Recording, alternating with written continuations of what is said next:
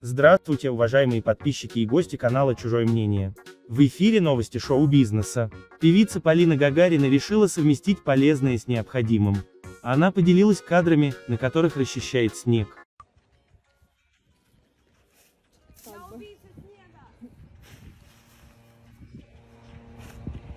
Спасибо.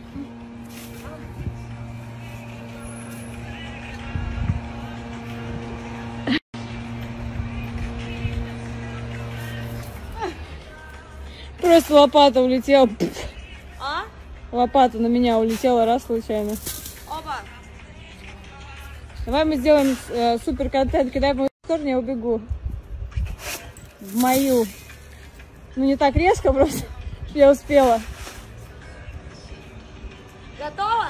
Ты сюда кидаешь на меня? Полина признавалась, что ей нравятся простые вещи.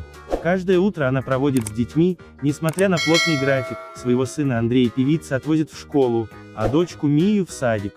Только после этого девушка направляется на съемки и репетиции. 13 апреля Полина вышла во двор своего особняка и обнаружила сугробы снега. Чтобы он быстрее растаял, певица взяла лопату и стала раскидывать снег по саду.